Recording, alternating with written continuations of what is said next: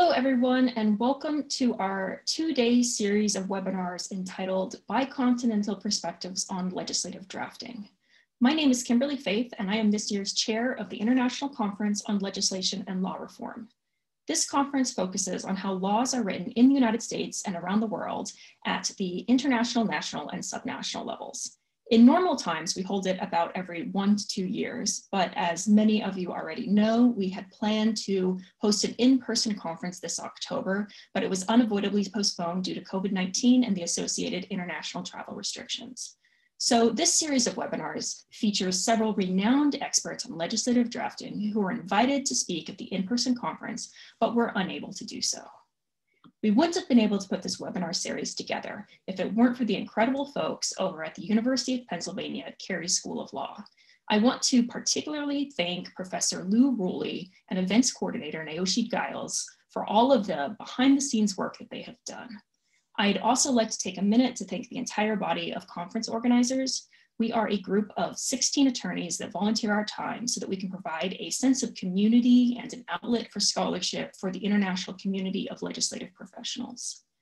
These individuals have put in an extraordinary amount of time over the last year and will continue to do so, both on the webinars and on the next in-person conference, once it is safe for us to gather again.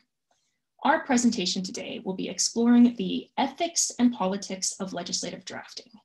As an aside, I am especially proud to have been part of organizing this presentation because our speaker was actually my professor in law school, so it feels as though things have come full circle.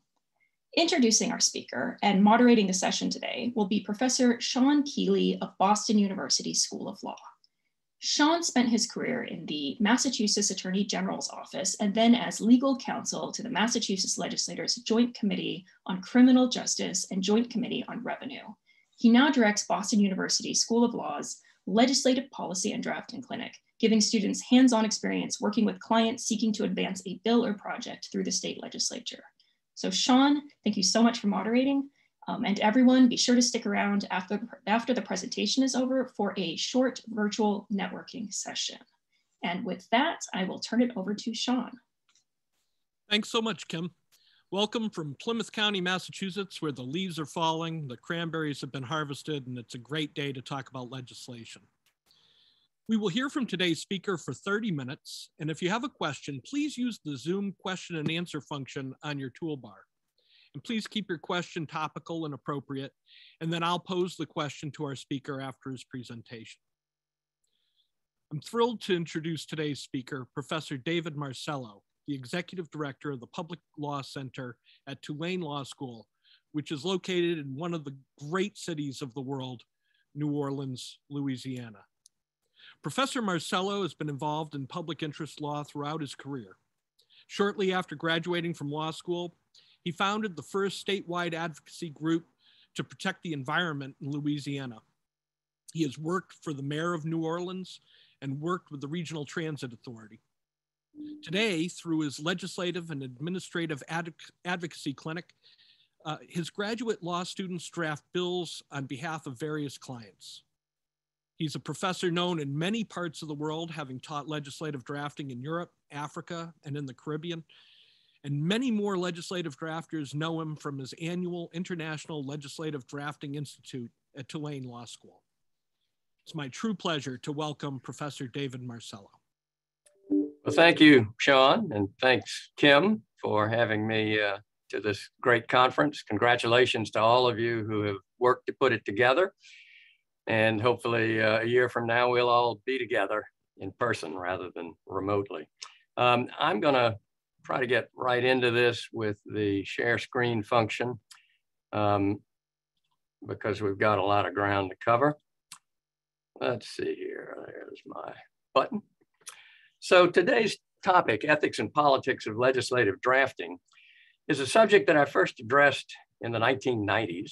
And I used my home state of Louisiana as a case study. You will find a lot of Louisiana-based observations still a part of this presentation.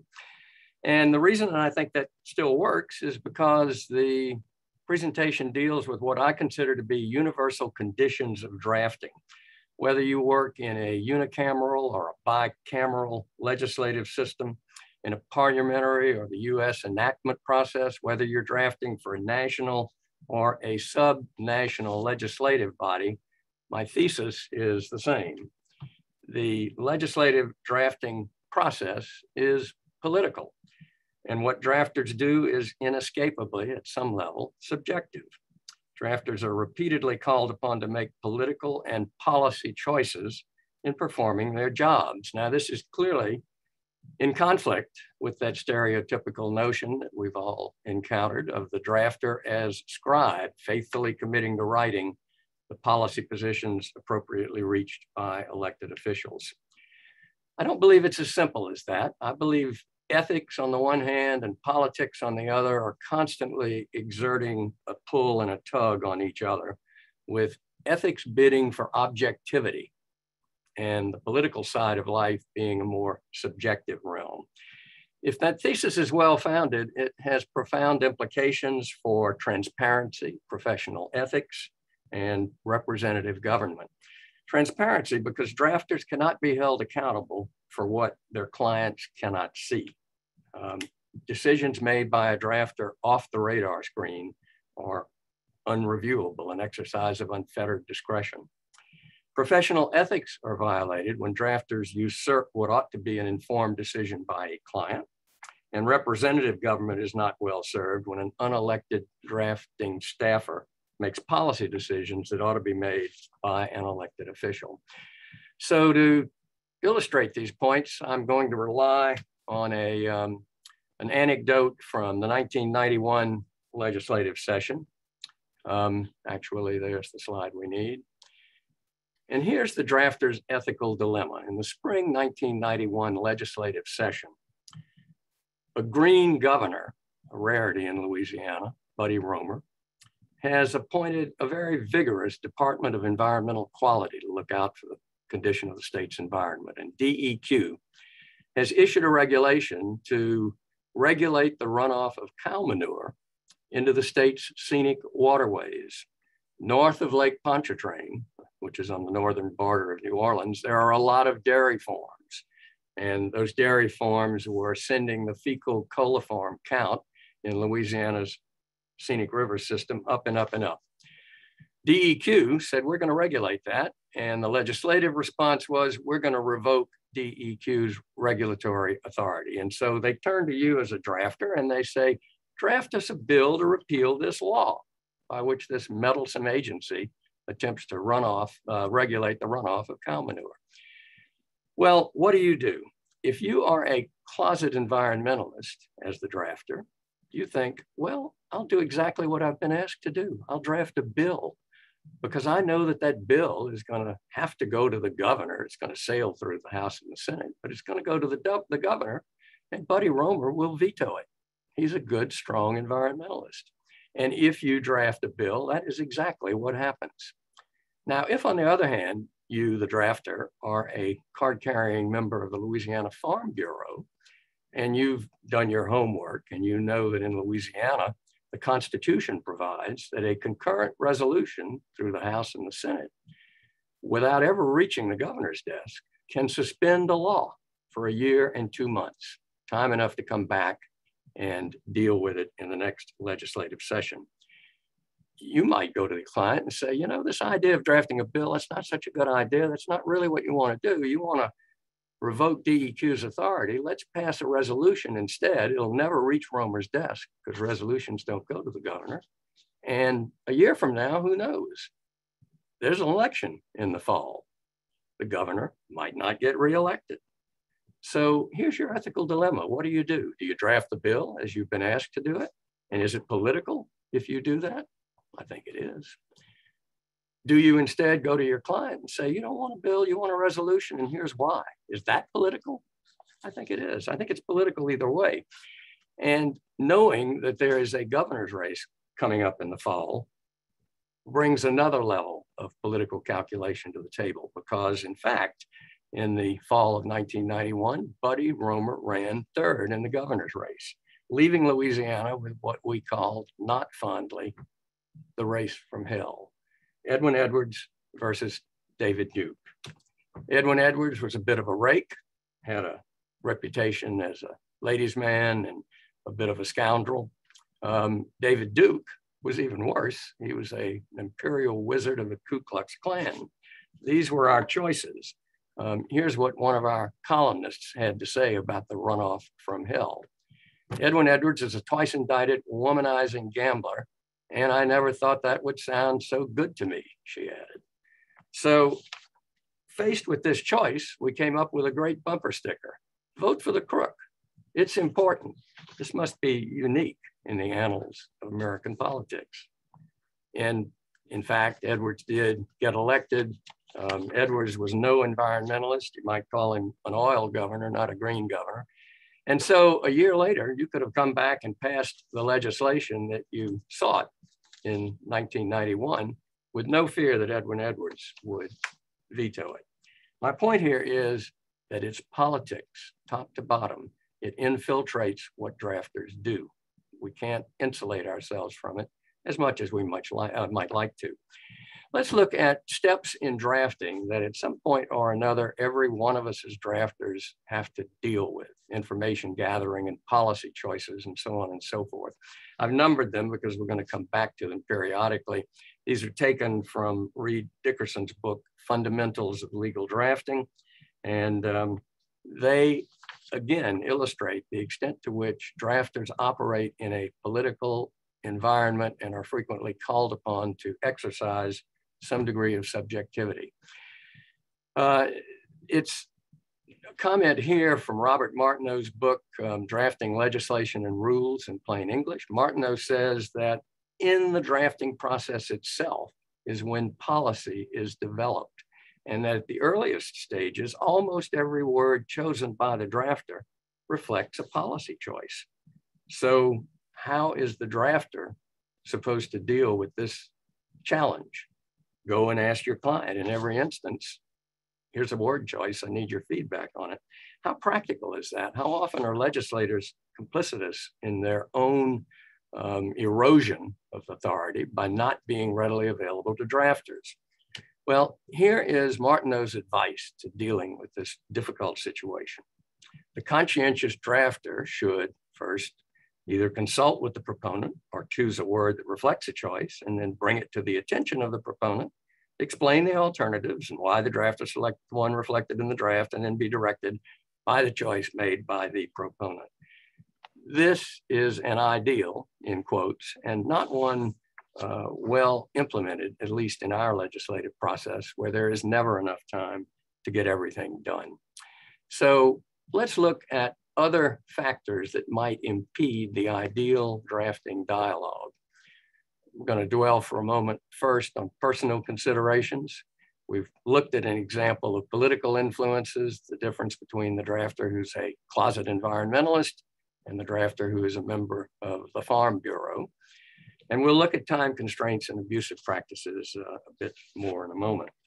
But first, on the personal dimension, the Public Law Center in the 1992 legislative session brought a bill to uh, suspend the licenses of, in this case, a divorced dad, um, to enforce their child support obligations. This sounds counterintuitive. You know, you're a plumber or an electrician, you're behind on your child support payments. We're going to take away the license that enables you to earn money.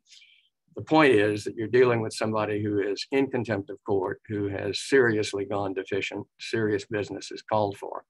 But the point about the remedy is that it is not likely to be embraced, this bill, by a drafter who's married to a divorced dad with second family kids.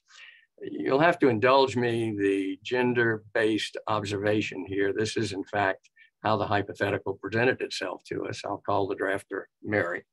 And um, we know that in the third decade of the third millennium, the divorced dad might be of either gender, and likewise, the second wife might be of either gender.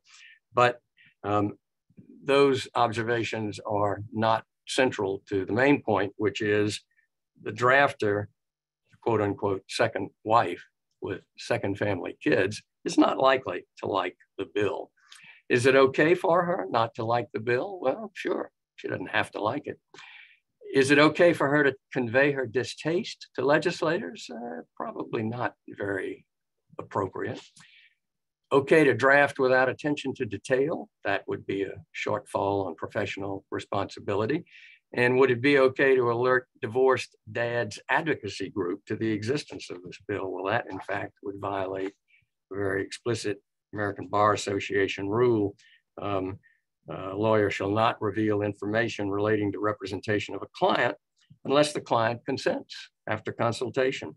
And this requirement of maintaining confidentiality applies to government lawyers who may disagree with policy goals that their representation is attempting to advance. So how to get around this challenge of subjectivity? Well, one um, drafting office in the Midwest, they'll remain anonymous by request, said, we'll do a priorities chart. We're gonna minimize the personal, the political, and the temporal influences by putting down in writing just how we're gonna assign responsibilities to draft legislation in our audit, in our office. We prioritize. And I said, when the drafter commenting after my remarks informed me of this, I said, I really want to see that chart. So he sent it to me. And here's a shortened version of it. The high priority items are when you're asked to redraft a prior bill or you're presented with a good working draft, you've got a well-reasoned request, little or no research is required, minimal drafting time. Well, what's the underlying value behind this supposedly objective list of priorities? I suggest it's about maximizing the efficient use of the drafter's time. Suppose I said instead, we ought to make our office work to provide the public and legislators with a service that they could not easily secure elsewhere. Then the priorities in the right column would become high priorities. Draft original bills, you've got no working draft, you've got a poorly reasoned request, maybe from a legislator's constituent. They know they got a problem. They're not great at framing the issue. You've got to do that work. If you accept the burden of providing a service that isn't easily found elsewhere, these priorities flip. So it's political either way in the sense that there are values underlying this priority chart. It's not objective or policy neutral. So let's move on to policy choices, uh, Dickerson's drafting step number two.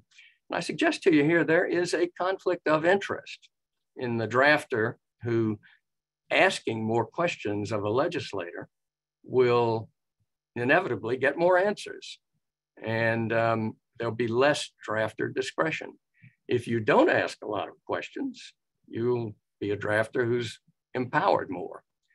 Um, and I have put the second bullet point here to raise a question about members.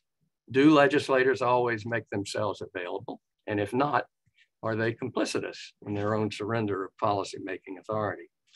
So um, what we might look at here is this seesaw effect. The drafter who loads up that end of the seesaw with questions and gets lots of answers elevates and empowers the legislator. The drafter who follows the opposite approach and asks fewer questions elevates the drafter's discretion. So, you know, we can toggle between who's in the ascendancy, the drafter or the legislator. My advice to legislators is work with drafters um, and make sure that you keep your hands on the policymaking process. Research methods. In the 1940s, the American Bar Association did a fascinating um, research program, drafting project. They had their drafters keep meticulous time records and they did original research, everything from scratch. Well, here's what they wound up with at the end. The research time took 58 out of 80 hours total. Conference time, talking to each other, 18 hours. The writing was only about 5%, four hours. What this tells me is that drafters often cannot afford the time it takes to do original research. How might you apply a quick fix to that problem? Well, you might go ask an expert to fill you in. I'm here to suggest that the choice of an expert, again, is not a value neutral choice. Um, this is a paragraph from the Fisher and Ury text, Getting to Yes, the text itself is about negotiation strategy, but I think it brings something useful to this concept that different experts give different advice. In thinking up possible solutions to a dispute over custody of a child, look at the problem as it might be seen by an educator or a banker, a psychiatrist, a civil rights lawyer, a minister, a nutritionist, a doctor, a feminist, a football coach, or someone with another special point of view. The point here is that drafters should not make the decision to consult an expert off the radar screen. They need to let that be a decision made by an informed client. Here's another issue, where to put enforcement responsibility. In Louisiana, if you place the law in the realm of the Department of Natural Resources, you're going to get an enforcement agency that's all about exploiting the state's resources. So if your bill is an environmental bill, that's not a good location for it. If on the other hand, you place it with environmental quality, they're all about protecting the environment. So where you put the law makes a great deal of difference. I'm always reminded at this point in the presentation about one of Louisiana's earlier governors, Earl Long, Huey's younger brother who became governor in the 1950s and had an attorney general that he didn't think too much of named Jack P.F. Gremillion. Earl Long said of Jack Gremillion, if you want to hide something from Jack Gremillion, put it in a law book. So remember that when you're thinking about where to put something in the law. Here's a matter that might fall more or less entirely in the realm of the drafter to decide the balance between statutory and regulatory detail. We have the choice to draft a self-executing statute that is complete unto itself. All of the details are addressed at a statutory level by legislative enactment. Or we can draft legislation that is more general and leaves room for subordinate legislation, or as we would call it in the US, agency regulations, to be elaborated, promulgated by the agency. This empowers the administrative branch of government. The self executing statute empowers the legislative branch. Statutes are harder to change than in our system regulations. So there are gigantic political implications here about whether the legislature is going to retain a tight control or whether it's going to give more control to the executive administrative side of government. So it's a very political decision, and it is a decision that drafters could quite conceivably make more or less on their own in the privacy of their office while they are drafting the instrument. Um, there's another hugely important event in the US political process, and that is committee assignment. Who gets to hear your bill, what committee it gets assigned to, has an immense implication in terms of how easy or difficult it will be to pass the bill. So another example from the Public Law Center's uh, experiences in 1992, we wanted to draft a bill to help welfare recipients, or rather, people who had applied for welfare benefits and been denied. The law allowed them to appeal to the courts for reconsideration of their denial. But the exclusive venue, the only place you could file that lawsuit, was in Baton Rouge, the state capital, and the agency's domicile. Well, this was burdensome from a geographical standpoint. Um, people in New Orleans or Lake Charles or Shreveport at the four corners of Louisiana were not well served by having their lawyers have to drive to Baton Rouge in order to plead their case. So we introduced a bill, House Bill 1215, to create dual venue. You could sue either at the domicile of the agency, the Department of Social Services, or you could sue at the domicile of the applicant. I'd a lot rather have it filed in my jurisdiction and for reasons that had to do with more than just geographic convenience. In Louisiana, we elect judges. If you want to accept for the moment the concept of hometown justice, you'd a lot rather have your case tried before a judge who you had helped to elect or might help to unelect and this was a political implication that was certainly appreciated by us in bringing the bill. And it was appreciated by our sponsor, who was a Lake Charles legislator lived quite a distance from the Capitol, knew that his constituents would be well served by creating dual venue. Um, this sponsor happened to be as well the chair of a House committee. So we brought our bill to the, um, the um, drafter who worked for the Health and Welfare Committee. And after she'd completed the draft, um, she attached a keyword to it, health and welfare. Now, we've got in Louisiana a keyword guide. This is an ancient copy of it. I'm sure it's online now. It's um, 105 pages, I think, of um, everything from abortion to zoning. Keywords that will have a lot to do with the committee to which the bill gets assigned. This keyword of health and welfare pretty much guaranteed that the bill would go to the Health and Welfare Committee. That wasn't a good assignment for us. Those are mostly non-lawyers. They're people who deal with the Department of Social Services day in and day out. They were not a favorable forum for our bill. Our legislator, on the other hand, chaired the House Committee on Civil Law and Procedure. And I knew that if we could get it into his committee, our chances of getting it issued as a favorable report went up immeasurably. It was a highly political event. So I turned to Beth and I said, you know, is there an alternative um, keyword that we might consider using? And she consulted the keyword index and she came back with civil procedure venue. I said, that's great, let's use this. And with the stroke of a pen or a keystroke, she changed it. And that became the key word on our bill. And our bill got assigned to our legislators committee, and our bill got reported favorably and ultimately enacted. This raises a lot of political questions. I mean, number one, this was a conversation that was on no one's radar screen. It was me and Beth in her office.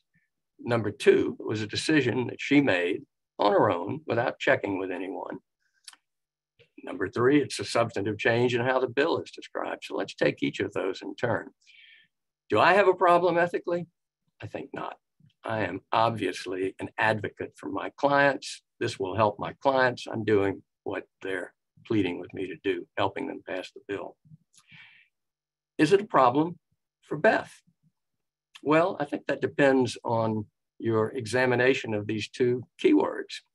Um, arguably, civil procedure venue is more specific, more informative, more helpful in telling people what this bill is about in a generic category like health and welfare.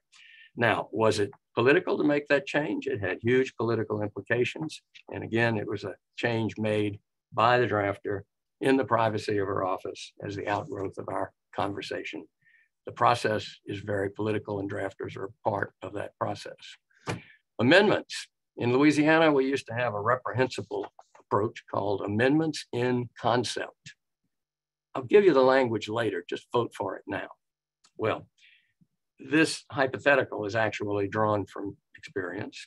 Um, my friend, who was a lawyer, was staffing a committee, and a legislator up on the dais was waving around some papers in his hands and describing what his amendment was about. And his colleagues on the committee approved the amendment. The legislator went down from the dais to my friend, CB, and he gave him the uh, documents and he said, Here's the amendment, put it in the bill. Well, CB compared what he'd been handed with what had been described and what the committee had voted for. And he said, I can't do that. This isn't what they voted for. The legislator said, just do it. And CB said, well, do you want me to read out loud to them what this proposed amendment would say? At which point the legislator backed down. And my friend had to take a fairly stern stance to accomplish a good result. Um, but had he not done so, he would have perpetrated a fraud on the committee. It would have challenged the integrity of the legislative system and process. So sometimes drafters have to stand up and be um, political, if you will, in the service of right functioning. Legislative history. Here is a, um, an excerpt from Blanchard versus Bergeron, uh, and it's uh, from Justice Scalia's opinion. It's a sort of a sneer at legislative drafting staff for being manipulative in the use of committee history. And um, Scalia's point, which I really cannot dispute, is that committee staff members frequently get the opportunity to insert into a report language that will later be influential when courts are interpreting the law. And um, uh, should they be able to do that? Well, I'm going to give you an anecdote involving uh, the former dean of Tulane Law School, John Kramer, who before he came down to New Orleans was a staffer on Capitol Hill. And John was assigned to draft um, with regard to the Food Stamp Act. John Kramer knew this was going to be the largest income transfer legislation in the history of the country. And he wrote to his friends in legal services and public interest, and he said, You're going to have to grapple with eligibility questions. So I'm going to ask you to send me your questions, and I'm going to answer them in the report. And he did that. And in fact, the Q&A in the committee report proved to be very influential in making the Food Stamp Act very generous in handing out benefits. Was it right or wrong for John to do that? Well, I'll leave you to consider that, but it was surely effective. We're now moving into ethics, and I'm not going to dwell very long in this area. Um, a lot of these concepts that I'm describing today are discussed in an article I did in the Tulane Law Review back in 1995, 96. Um, it's available on the Social Science Research Network. And I always like to mention ssrn.com just in case everybody isn't familiar with it. Um, it's a great resource. I used to say it's where old law professors' old articles went to die, like an elephant graveyard, but that's a bad metaphor. It's actually where old articles go to get new life. So if you haven't already encountered ssrn.com, go get familiar with it. Are lawyers bound by more restrictive ethics rules? Yes, unquestionably. Here are some examples of them. Duties of candor toward the tribunal. Um, lobbyists are not governed by these same restrictions, non-lawyer lobbyists. Is that fair? Well, why should we regulate lawyers more severely? Are they less trustworthy? I happen to believe not. Um, lawyers actually have three advantages when they appear before a legislative committee. I think we enjoy certain credibility advantages when we're dealing with law formation. So that's a plus for us. We've also got certain special privileges, lawyer-client confidentiality. We can't be forced to disclose things. And we are officers of the legal system sworn to uphold and defend its integrity. So if we have to operate under somewhat more severe constraints, I think that's an acceptable trade-off. Should non-lawyer drafters adhere to lawyers' ethics? Well, I think it might be prudent to do so. It would not only protect the integrity of the law formation process, but it would protect non-lawyer drafters from ethics problems in performing their duties. You would need to know that you are responsible for what your subordinates do and that you can be held accountable for their ethical breaches. And your subordinates need to know that they can't just be ordered to do something that is ethically inappropriate. Um, so yes, non-lawyer drafters should, I think, be familiar with the rules that govern lawyers. So in conclusion, drafters are important players in the policymaking process. They're not just mere scribes. They are continually called upon to exercise their personal judgment and the first step in curbing personal influences is to recognize them as the challenge that they are. They are frequently invited by the drafting process to make policy judgments. Uh, we all have to fight that. Um, those judgments should be made by elected officials. And they may occasionally be influenced by their own advocacy uh, agenda and uh, ever more certainly fight that impulse. So I will say that there is this constant tension between ethics and politics, where ethics represents the objectivity and politics the subjectivity. They're like two gravitational objects revolving around each other, and sometimes one's in the ascendancy and sometimes the other. It's a yin yang or a dialectic or a seesaw, whatever cultural metaphor you choose to use. We've got to fight those tendencies and strive to achieve what may be an unattainable goal, and that is the drafter as the faithful agent of legislators and policymakers.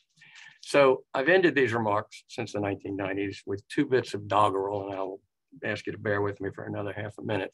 One of these I call the drafter's lament. I'm the parliamentary draftsman, and they tell me it's a fact, that I often make a muddle of a simple little act. I'm a target for the critics, and they take me in their stride. Oh, how nice to be a critic of a job you've never tried. And the second one, I call the drafter's revenge. I'm the parliamentary draftsman. I compose the country's laws, and of half the litigation, I'm undoubtedly the cause.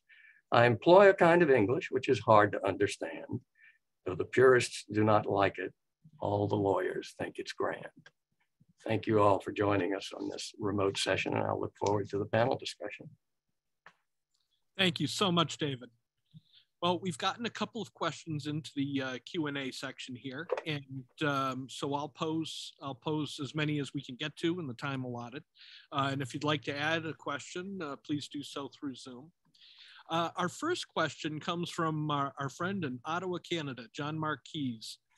Is there a difference between choices and decisions? Is the ethical issue here one of limiting the choices you give to your client for decision?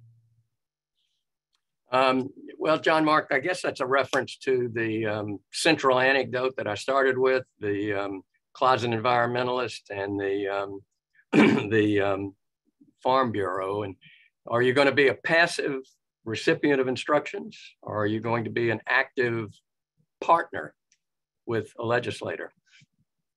And I'm in favor of the active partner, even though it impacts tremendously the politics of the instrument that the drafter was initially asked to draft. Um, I don't think that we can fulfill our responsibilities um, unless we share aggressively, actively, the questions as they present themselves to us. And I think it's absolutely the right thing to do. I also think, as per my rather sarcastic rendering of the Martineau paragraph about the ideal drafting dialogue, it's very nearly impossible. I probably subscribe to the impossibility of sharing every last choice with a client, as one should aspire to do, but um, very difficult, I think, in the actual practice of uh, legislative drafting, where there's never enough time to do everything that one would like to do. Uh, we have another question from Samantha Samuel. As an international legislative drafting consultant over the years, the, recurring, the reoccurring issue I find is how the communication between the parties is not always effective or clear to allow the legislative drafter to understand the instruction, uh, oftentimes in the absence of an adequate policy direction. Mm-hmm. And in turn, how to write the bill. Yep. Legislative drafter is most times in an impossible situation with urgent timelines. Well, um, I, um, I, I, think in this case, um, international systems perhaps have a better approach to the dialogue between drafter and um, draft and, and um, policymaker in that they ask for written policy instructions, drafting instructions to be prepared. That's rare in our system in Louisiana. I think it's unfortunate that a lot of projects get assigned um, orally, a drafter and a legislator passing in the hall, here's something I need, see what you can work up for me. Um, but I do think even with the drafting instructions and the degree of preparation that takes, we've all sort of witnessed people who are talking at odds with each other. I mean, they think they're talking in the same realm and they're actually uh, missing a central point. I would borrow a concept from negotiated rulemaking as a suggestion here.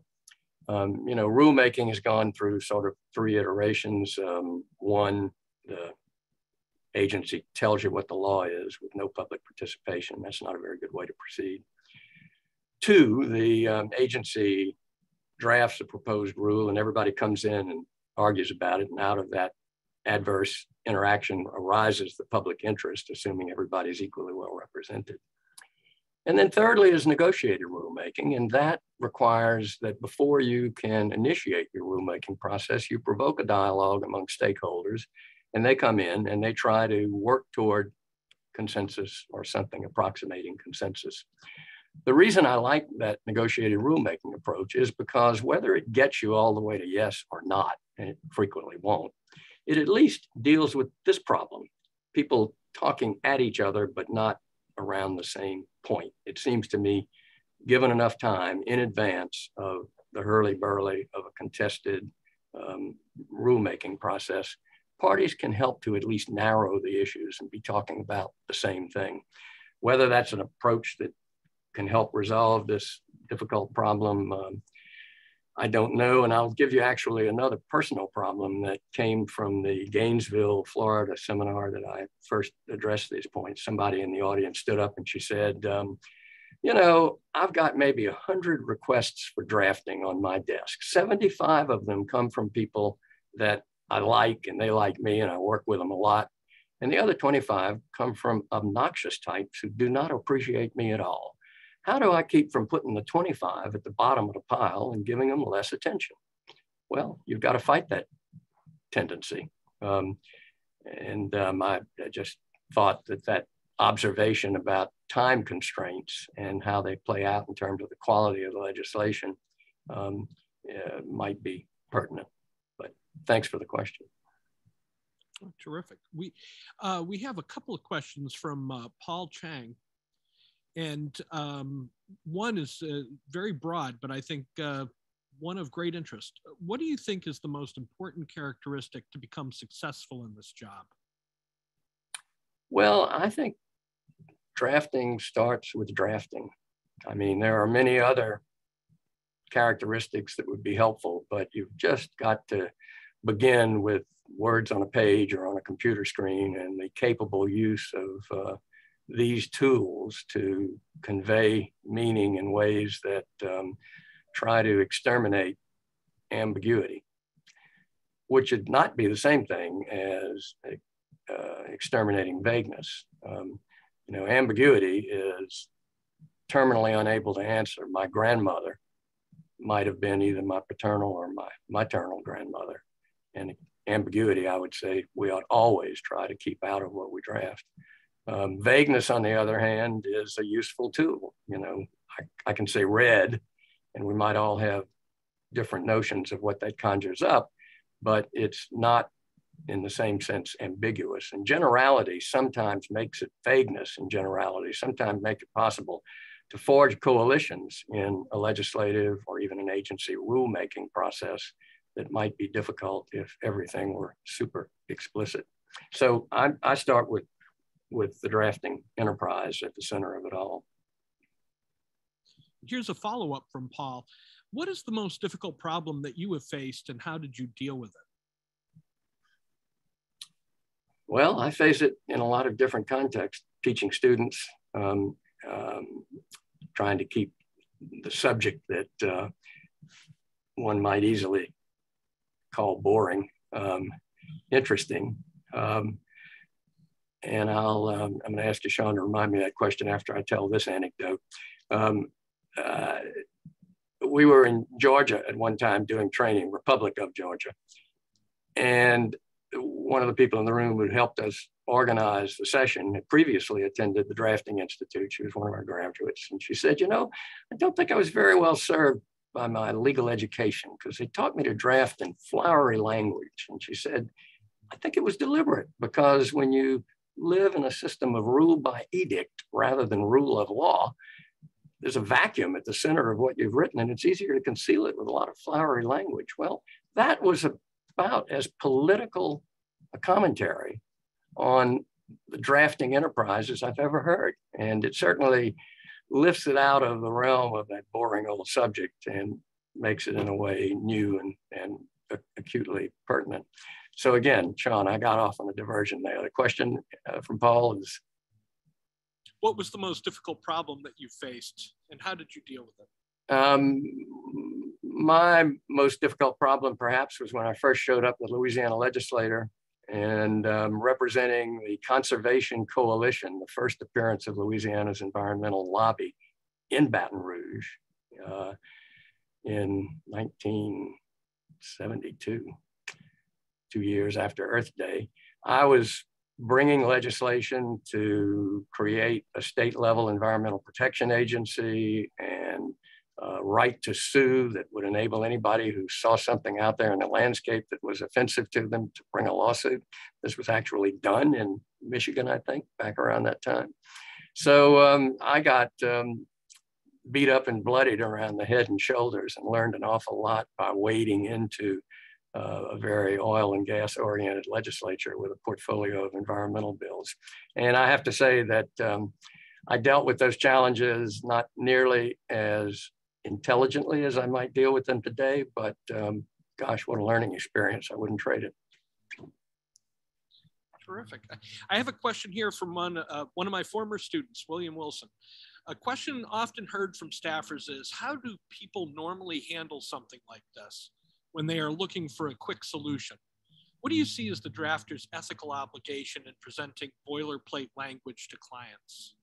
You know, you've absolutely got to find an expert who knows the um, answer. In the classroom, we tell our students that they would benefit tremendously from finding a resource person. Um, clients know what's a problem for them, but they don't always know what's possibly the best solution or the range of solutions. And for that, you need a resource person, you need an expert. Um, so I think going outside the dialogue between drafter and client is entirely appropriate, but you've got to get permission before you do that. Something else we tell our students. Um, don't go talking to anybody without first talking with us and in turn with the client. Um, and the choice of an expert needs to be made as an informed decision by a client who has been told, I think we need to go consult with a banker or I think we need to go consult with a football coach. Um, whoever your choice of an expert is, the client needs to know about it in advance, needs to have some say in it, needs to understand that who you choose as an expert is likely going to impact politically the shape and substance of the bill that you're trying to complete.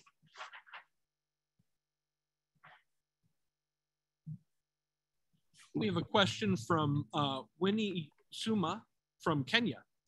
As a legislative counsel, my client is the government. However, we are required by law to take the bills through public participation. What happens in a scenario where the public and the government want to do different things? Well, I think the problem of a drafter in a governmental context, which is where probably most of the people viewing this operate, is um, complicated immensely by the multiple obligations. I'm going to talk about it in the context of our system in Louisiana because it's what I'm most familiar with. And I'll use as an example the drafter for the Department of Social, uh, the drafter for the Health and Welfare Committee, Beth. You know, Beth might have been approached by one legislator who said, Beth, I want to help out these welfare recipients. I want to draft a bill that will make it easier for them to take their appeals successfully to court. And she would work on that bill. And she might be approached by another legislator who said, I'm sick and tired of these people living off of a government dole. And I want to draft legislation to make it harder for them to get the benefits. And she would draft that bill. And she would be obligated at this first and most fundamental level not to disclose to either legislator the confidential relationship and the fact that she was working on bills that were, you know, precisely oppositional to one another. Now, we move from that to my friend CB, who was put in that difficult situation of being told just add the amendment, even though it wasn't an accurate representation of what had been voted on. CB had an obligation not only to this particular legislator who was calling upon him to put an amendment in, but also to the members of the committee who expected him to conduct himself in a way that protected their prerogatives. And I'll get down to a very practical level. Um, if you're a drafter working for a committee, you better give some thought to how particularly the chair feels about your actions at any given moment, because the chair of a committee might have a lot to do with who goes on being the committee staffer. So in two minutes, I've described about five different ethical tugs on the loyalty of the drafter. And I don't have a golden rule um, principle that will apply in all of those cases, except to be aware of your responsibilities. You know, before you can get permission from a client to go outside and talk to an expert, you've got to figure out who's the client. You know, is it the legislator who asked me to draft this bill? Is it the constituent group that he sent me to to be guided by it? Is it anybody else? So figuring out who your client is in any given moment. And um, yes, the um, lack of enthusiasm among governmental actors for transparency, that must be a worldwide principle. We've certainly got it in abundance here in the US, and I suspect it's uh, similar in other locations. Uh, we have a question from John Ugolo. Uh, should the drafter really be the one to allocate the enforcement responsibility in the bill?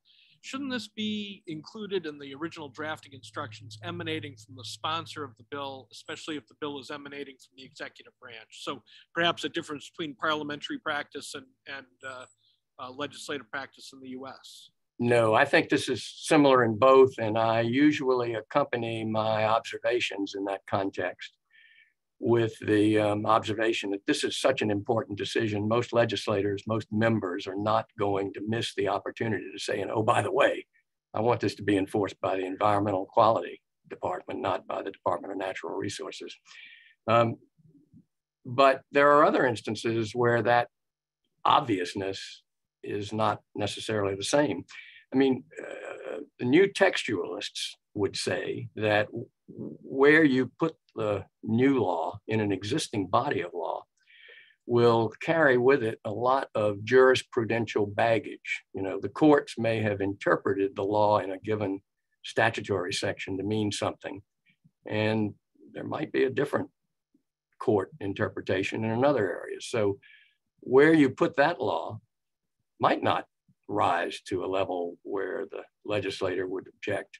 And again, this business of the balance between regulatory implementation and statutory completeness is a decision that I think very frequently, maybe more often than not, would be made by a drafter in the office doing the draft. It could be changed later, obviously, if the legislator wanted more authority given to the administrative body to promulgate rules and regulations and subordinate legislation. But the first cut on that draft is likely to reflect the drafter's own judgment about what's the right balance between statutory completeness and regulatory implementation. I think we have time for one more question. Uh, we've gotten so many great questions. Thank you to everybody out there. But Mashari Al Mansour uh, asks, what is the role of negotiation in drafting legislation? And what should the drafter of legislation have to do in the event that he encounters a client who has less understanding of the project uh, than the drafter themselves? Well, great question. And um, it gives me a moment for shameless commerce. But the Public Law Center decided to celebrate its International Legislative Drafting Institute by creating this International Legislative Drafting Guidebook. And it's the wisdom of 18 of our speakers about various and sundry topics. Um, you can go online with the Public Law Center's website and see it. Um, one of the um, useful articles in here is written by a fellow named Lou Giesel. And Lou um, writes about drafting and using negotiation skills in legislation. You know, when we as drafters are called upon to create a text in dialogue with a variety of players, we are essentially engaged in a one text negotiation. The example that's frequently given here again is gender stereotype. Um, the architect who's working with a couple and what do you want in your house? And the guy, let's say, not this guy, because I'm not very handy, but one guy says, Oh, I want a, a workroom where I keep all my tools.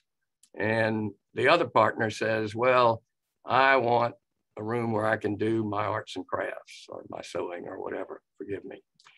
Um, and um, the architect is called upon in those instances to come up with a one text negotiation, a blueprint that accommodates within a budget the needs of both parties. And similarly, I think when we're drafting legislation, um, we've got to reconcile a lot of competing points of view.